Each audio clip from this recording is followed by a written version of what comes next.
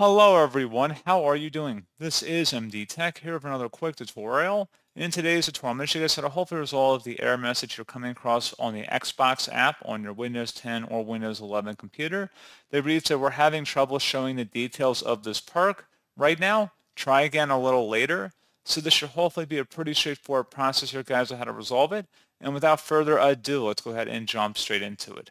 First thing I recommend doing would be to open up the search menu and type in settings, best match, should come back with settings. Go ahead and open that up. On the left side, you want to select time and language. And then on the right side, you want to select language and region. Make sure that the language is correct here, as well as the region. So if you're having an issue with that, so if you go down under country or region, click the drop down and you want to select the correct country or region here, as well as the correct display language and preferred language. I mean, it probably doesn't hurt to check but I would make sure the region is selected to the correct option in here. And then once that's done, you should be good to go. And hopefully you wouldn't have that issue any longer.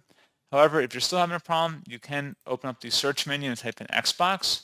On the right panel, you want to select App Settings. Go ahead and select that.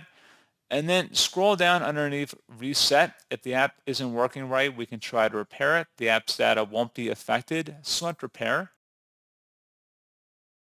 And then once that's done, I would suggest restarting your computer and seeing if you are still incurring this issue. However, if upon restarting your computer, if you're still having the problem, you can select the second option here, where if the app still isn't working right, reset it. The app's data will be deleted. Select Reset. So this will permanently delete the app's data on this device, including your preferences and sign-in details. Select Reset. Give that a moment here. And then once that's done, close out of here, and you want to restart your computer.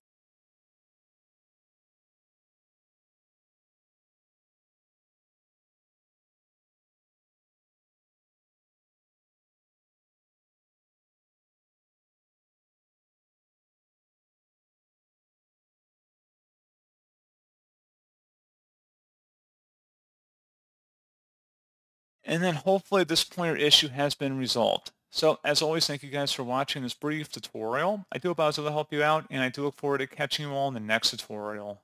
Goodbye.